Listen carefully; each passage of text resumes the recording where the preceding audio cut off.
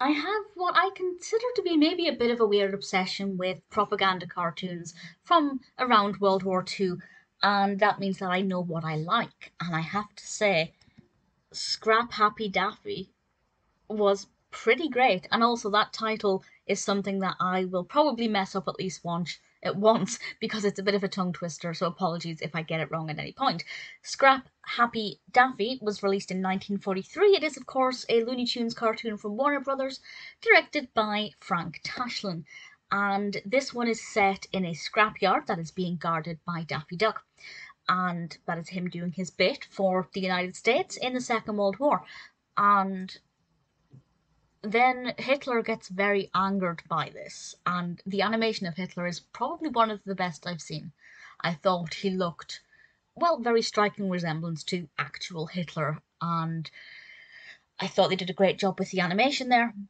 He gets very annoyed by this and sends a goat to eat the scrap, which I thought was very peculiar.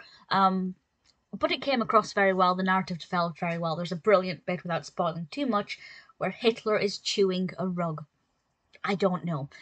And Daffy Duck is feeling very disheartened by this. He's very kind of, you know, weary.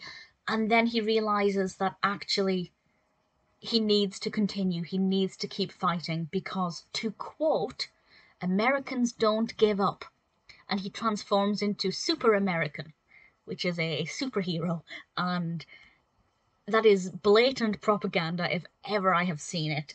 The fact that Daffy Duck is being, you know, his spirits are being worn down by this goat who is making it impossible for him to do his job. And he's thinking, I just want to give up. I don't want to fight anymore. And he says, Americans don't give up. I mean, that's. I, I kind of had to laugh when I heard it because I thought that's just. You know, that's definitely trying to shame people who are not willing to do their bit, who have, you know, by this point, considering this was released in 1943, um, the war as a whole had been going on for four years now officially, and, you know, let's face it, you're gonna get weary.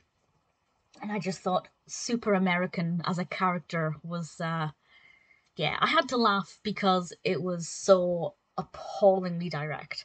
And there are a lot of propaganda cartoons that are, you know, do your bit, donate your materials, whatever. No, this one is basically saying you need to be a super American because Americans are the best, we're going to win the war, etc. And, well, hey, maybe it worked because look how that war ended. There was also a bit that I kind of. I mean, obviously, it's not funny at the time, but just watching it in hindsight, Hitler was screaming in German, non Aryan duck over and over again as he became increasingly infuriated by the presence of Daffy Duck watching this scrapyard. And there are just so many things in this that are just eye rollingly awkward and kind of embarrassing and cringy. And in hindsight, it's awkwardly funny. It's not laugh out loud funny, that would be weird. But it's certainly, um, you know, kind of like, I can't believe this is how they would show these things.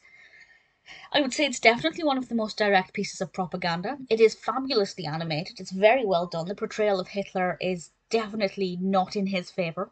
Um, I think it has a very strong likeness, certainly the kind of um, personality he was described as, and indeed we all believe him to be like, um, is definitely going to make you angered and want to fight for your country.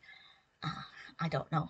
Um, I imagine some people might have felt like super Americans after watching this. Maybe the words Americans don't give up was enough to ignite the fuel underneath some people to get them back into the war to push them over the finish line who knows? But it's absolutely worth watching. It's one of the best I've seen from a, an analytical perspective, from a historical perspective.